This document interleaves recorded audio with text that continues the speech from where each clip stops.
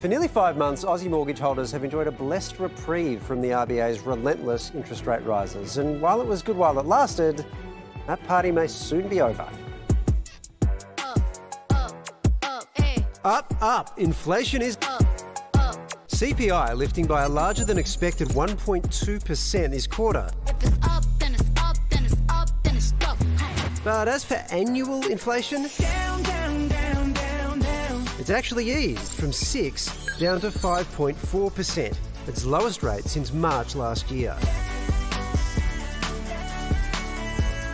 And it's a similar seesaw of ups and downs across the economy. So let's. The price of petrol, electricity, and rents, they're all.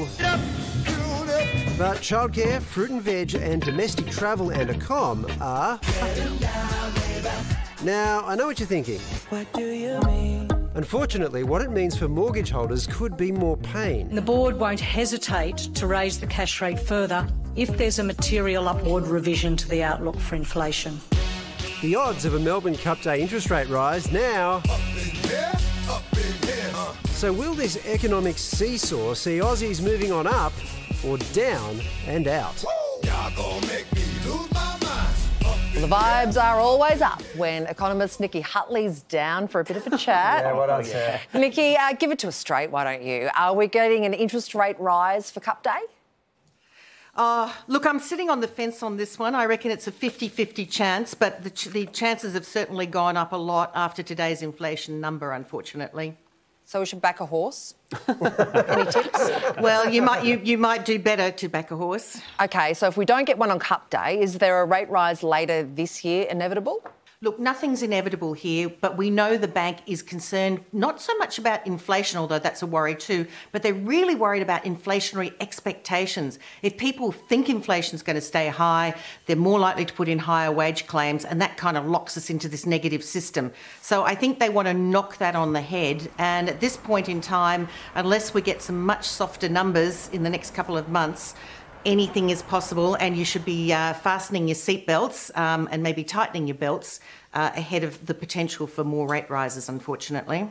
Ooh, okay, then what else did we learn from today's figures, Nicki?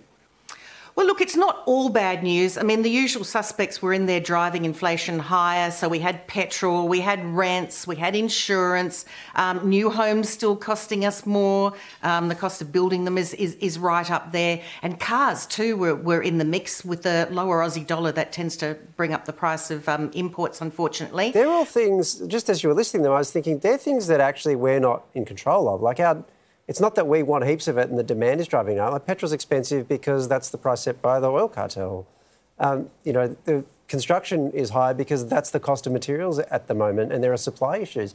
If that's what's driving inflation, if that's the stuff that's up, why are we using interest rates? Like, doesn't that not help anyone? Yeah, absolutely right. And particularly with rents, higher interest rates actually make things worse.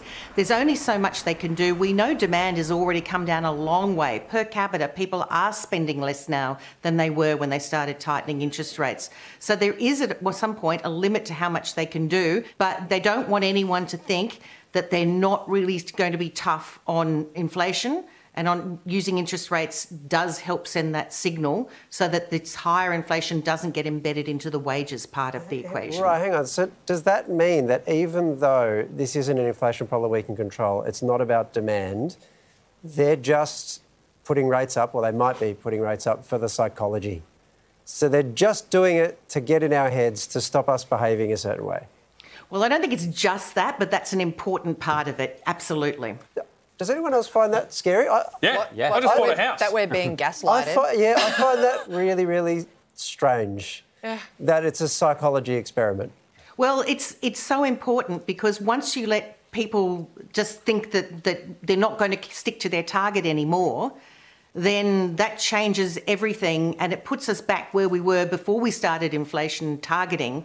And that will make life a lot more bumpy, a lot more difficult for all sorts of people. So this is a very fine line that they're having to walk.